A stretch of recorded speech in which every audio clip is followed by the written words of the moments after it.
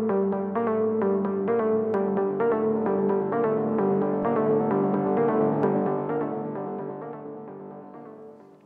ازيكم مرة تانية في برنامجكم بدون سابق انذار. طبعا زي ما إحنا عارفين الفقرة التانية بتبقى لذيذة وشيقة جدا جدا وفيها رسالة لكل مشاهدينا.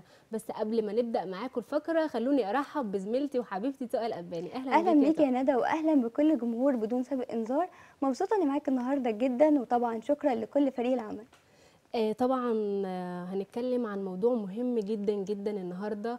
وهو الزكاة وقيمة الصدقة. وده موضوع آه، مهم جدا. كتير مننا مش عارفين فضله ولا قيمته في حياتنا ومستقبلنا. فكرتنا النهارده يا تقى عن الصدقات. أو بمعنى أصح إزاي الصدقة قادرة تمسح ذنب أنا عملته قبل كده؟ زي ما مصطفى حسني قال في حلقة ليه قبل كده أنا هقول آه، يعني هقول لك بالعامية زي ما أستاذ مصطفى حسني قال في حلقة قبل كده إن اللي بيعمل حاجة آه، غلط بيفضل يعملها يعملها يعملها وهو حاسس بذنب حاسس هو أنا بعمل الحاجة غلط. أنا بعمل كده أنا فعلا أنا غلطان في كده هو عايز يبطلها ومش قادر إنه يبطلها. زي مثلا حد بيشرب مخدرات مش قادر إنه يبطل مخدرات وعارف إن الحاجة دي غلط عارف آه لأ أنا بعمل الحاجة دي وعارف إن هي غلط وعارف إن هي حرام بس مش قادر إن أنا أبطلها. زي مثلا آه عمل الخطيئة دي لكن مش قادر إنه يبطل في نار ماسكة في جسمه. بنات مثلا بتعمل حاجة غلط آه، ولاد برضو بيعملوا حاجة غلط بس مش قادرين ان هم يبطلوا الحاجة الغلط دي ومعترفين وعارفين إن هم آه، عارفين ال- ال- الغلط دي بس لا دي شخصيتها ولا دي أخلاقها بس القلب متعلق بسبب التذوق اللذة دي. فالصدقة بعد ال- الصدقة بعد الخطيئة تطفئ نار الخطيئة في القلب وطبعا تكفر السيئات من الميزان. خدت بالك يا تقى من تعبير تطفئ نار ال- الخطيئة في القلب؟ أنا عاوزة أقول لك إن حقيقي اتأثرت بكلامك يا ندى ولامس قلبي من جوه كده. بس قبل ما أقول لك آه بس أنا عاوزة أقول إن ملخص أو معنى كلام أستاذ مصطفى حسني طبعا هو بيقول تصدقوا. تصدقوا كتير بنية إطفاء نار الخطيئه في القلب. أو مش شرط النيه دي ممكن بقى نتصدق آه، بنية رفع البلاء بنية راحة البال بنية الشفاء. ونفتكر دايما قول الرسول صلى الله عليه وسلم لما قال. حصنوا أموالكم بالزكاة وداووا مرضاكم بالصدقة. الله بجد. طب بصي يا تقى عشان الكلام ده هياخدنا خلينا كده بالترتيب آه، نعرف السادة المشاهدين كم محور كده آه، هنمشي عليهم. إيه رأيك؟ نبدأ بإيه؟ خلينا نبدأ بتعريف الصدقة. أصلا تعريف الصدقة بيقول إن من أفضل وأحب الأعمال إلى الله تعالى هي الصدقة على المحتاجين والفقراء لأن في إخراجها كمان يا ندى دليل على صحة إيمان العبد بالله تعالى ويقينه بأن هو الرازق سبحانه وتعالى. طب خلينا نذكر بعد كده بعض من فضائل الصدقة واللي أولها زي ما ذكرنا من شوية طبعا إنها آه، بتطفئ غضب الله سبحانه وتعالى. مش بس المال يا جماعة صدقة لأ ده تبسمك في وجه, في وجه أخيك صدقة. إماطة الأذى عن الطريق صدقة. كل تسبيحة صدقة. كل تهليلة صدقة. كل تكبيرة صدقة. ده حتى صلاة الضحى صدقة عن كل مفصل من مفاصلنا. ثالثا إنها وقاية من النار كما في قوله تعالى فاتقوا النار ولو بشق تمرة. إيه برضو أنها بتمحي تمحو الخطيئة وتذهب نارها كما في قوله والصدقة تطفئ الخطيئة كما تطفئ الماء النار. وبرضو إيه أن المتصدق في ظل صدقته يوم القيامة كما في حديث عقبة ابن عامر قال سمعت رسول الله صلى الله عليه وسلم يقول عليه الصلاة والسلام. كل امرئ في ظل صدقته حتى يجدى بين الناس. إيه الجملة دي تقى إيه إن يوم القيامة بيبقى فيه طبعا أهوال وشمس وحر. الشمس طبعا بتبقى فوق راسنا. في ناس آه، ربنا بيبقى ظللهم بظل. الظل ده اللي هي بتبقى الصدقة بتاعتهم في الدنيا. بالظبط.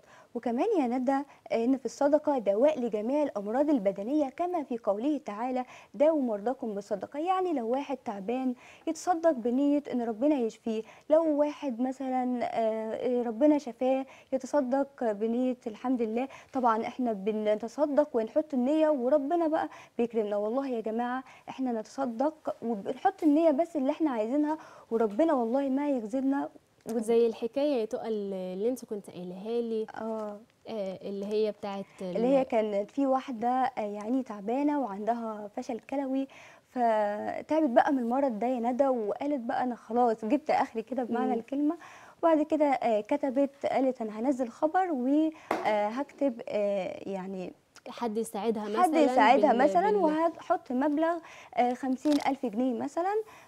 فجت واحدة طبعا تداول الأخبار فجت واحدة للمستشفى وقالت يا جماعة أنا موافقة على كل الإجراءات وكل الفحوصات عشان محتاجة الفلوس عشان دي. محتاجة الفلوس وكده. فدخلت عليها المريضة لقيتها بتعيط بتقول لها أنت بتعيطي؟ قالت لها آه. قالت لها طب أنت مين اللي جبرك على الكلام ده؟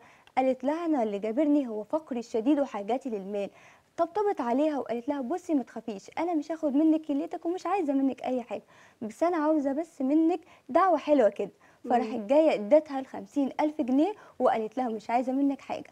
جت بعديها يعني بكام يوم كده يا ندى الدكاترة اتعجبوا اللي هو إيه ده؟ فين ما عندكيش مرض ما عندكيش حاجة بالظبط فاللي هو يعني هي تصدقت. والست ادتها دعوة حلوة كده من قلبها فربنا شال عنها كتير يعني. زي الحكاية برضو برضو راجل كان غني جدا جدا وكان محتاج راح لكذا دكتور قال له لازم تعمل عملية في القلب ضروري وراح برضو لكذا دكتور برضو عشان يشوفوا ال- العملية دي مهمة ولا مش مهمة ما كانش عاوز يعملها وكده وبعدين قال له لا إحنا لازم هنعمل لك العملية دي. فطبعا كان قلقان جدا قال العملية دي يا إما هتنجح يا إما خلاص كده هتموت. فطلع آه، اتبرع بمبلغ كبير جدا جدا من ماله. اتبرع بيه وراح بقى للدكتور بعدها في يوم العملية بقى عشان يعمل العملية. بعدها استعجبوا قوي استغربوا. إزاي أنت طب انت عملت إيه طب طب إيه اللي. حصل بالظبط أيوة. طب أنت خلاص كده ده أنت خفيت مفيش أي حاجة عشان هو ندى كمان شال حمل عن غيره فربنا. كمان شال عنه يعني. بيقول لكم تصدقوا يعني آه، ما سادسا برضو يا تقى إن في دواء للأمراض القلبية كما في قوله لمن شكا إليه قسوة قلبه إذا أردت تليين قلبك فأطعم المسكين وامسح على رأس اليتيم سابعا بقى يا ندى أن الله يدفع بصدقة أنواع من البلاء كما في وصية يحيى لبني إسرائيل. وآمركم بالصدقة. فإن مثل ذلك كمثل رجل أسره العدو فأوثق يده إلى عنقه وقدموا ليضربوا عنقه فقال أنا أفديه منكم بالقليل والكثير. ففدى نفسه منه فالصدقة لها تأثير عجيب يا ندى في رفع أنواع البلاء. فلو كانت من فاجر أو من ظالم بل من كافر فأن الله تعالى يدفع بها أنواع من البلاء وده أمر معلوم عند الناس يا ندى خاصتهم وعامتهم وأهل الأرض مقرون به لأنهم قد جربوه. طب نيجي لسؤال حلقتنا يا تقى النهارده. هل تغفر الذنوب بالصدقة؟ أن صاحب الصدقة يا ندى يبارك له في ماله كما أخبرنا النبي صلى الله عليه وسلم بقوله ما نقص مال من صدقة. طيب يا تقى عندنا برضو آه، في في قوله تعالى لن تنالوا البر حتى تنفقوا مما تحبون. وبرضو كان معانا حديث آه، قال الرسول صلى الله عليه وسلم اللي انت هتقوليه برضو اللي انت ذكرتيه قبل الحلقة. بشق تمرتين آه اللي هو آه قال رسول الله صلى الله عليه وسلم اتقوا النار ولو بشق تمرة. بش- بشق تمرتين أيوه يا ندى ومش بس كده ده كمان تكملته إيه بقى؟ بيقول لك إيه؟ قال عدي سمعت رسول الله تعالى يقول اتقوا النار ولو بشق تمرة. فمن لم يجد شق تمرة فبكلمة طيبة. آه، معانا مداخلة تليفونية أستاذ محمود من المنوفية. ألو؟ ألو؟ حضرتك؟ أيوه يا فندم. أيوة يا فندم اتفضل. حضرتك يا فندم آه، بحيي حضرتك وبحيي حضرتك أستاذة تقى و... أهلا وسهلا أنا بحضرتك أهلا كان وسهلا عندي بيك. حضرتك بس تعقيب كده عن حاجة بسيطة صغيرة. اتفضل. حضرتك أنا مثلا لو واحد بعمل اعمال أعمال حرام مثلا وأعمال آه، ربنا غضب عني ومش عارف إيه وحضرتك مثلا لو أنا ينفع إن أنا أتص- أتصدق إلى الله مثلا عشان يغفر ذنوبي هل ربنا يعني تكون دي حاجة حلال يعني؟ أيوه طبعا آه طبعا تصدق بنية تغفير الذنب. يعني أنت وربنا ورب. أنت قول أنا عملت حاجة غلط وما بينك وما بين ربنا عايز تصلحها كده بتحط النية بتاعتك وتصدق بالنية دي وأنت بقى هتشوف بنفسك كرم ربنا معاك ورحمته ولطفه بيك كمان. بالظبط. وربنا هيتقبل مني كده آه؟ طبعا آه طبعا. انت بتصدق بنية تكفير الذنب. آه. بس تصدق بالنية دي وتعالى بقى وشوف بقى إيه اللي هيحصل معاك. هتلاقي كرم ربنا والله قدامك كده.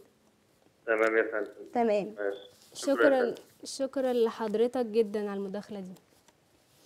تعالي يا تقى ندخل في الطرق. الطرق إذا كانت سرا طبعا. قال النبي صلى الله عليه وسلم سبعة يظلهم الله تعالى في ظله يوم لا ظل إلا ظله وذكر في نهاية الحديث ورجل تصدق بصدقة فأخفاها حتى لا تعلم شماله ما تنفق يمينه. طيب يجي حد يسألنا يا ندى ويقول هل يشرع للمبتلي أن يخرج الصدقة بنية تكفير الذنب؟ لا طبعا.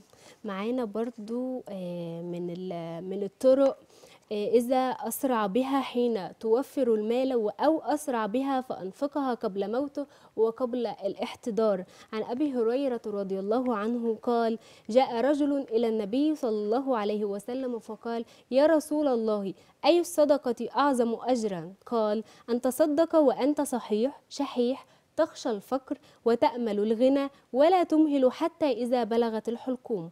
قلت لفلان كذا ولفلان كذا وقد كان لفلان. كمان يا ندى لا حرج أن يصدق المسلم عقب كل معصية بشيء من ماله لعموم قوله تعالى بسم الله الرحمن الرحيم إن الحسنات يذهبن السيئات. وقوله تعالى إن تبدوا الصدقات فنعما هي وإن, وإن تخفوها وتأتوها الفقراء فهو خير لكم ويكفر عنكم من سيئاتكم والله بما تعملون خبير. صدق الله العظيم.